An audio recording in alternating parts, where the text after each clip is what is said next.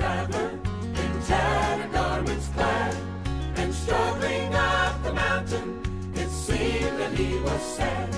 His back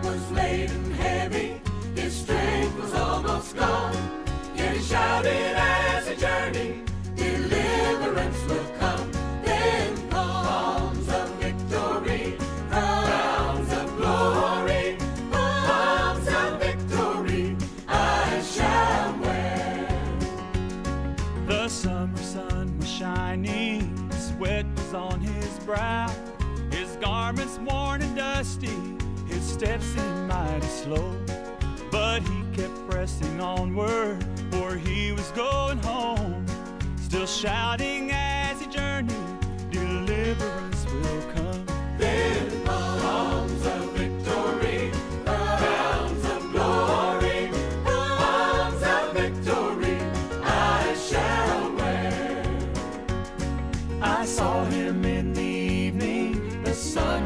sinking low.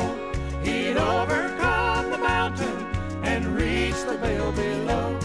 He saw that golden city, his everlasting home.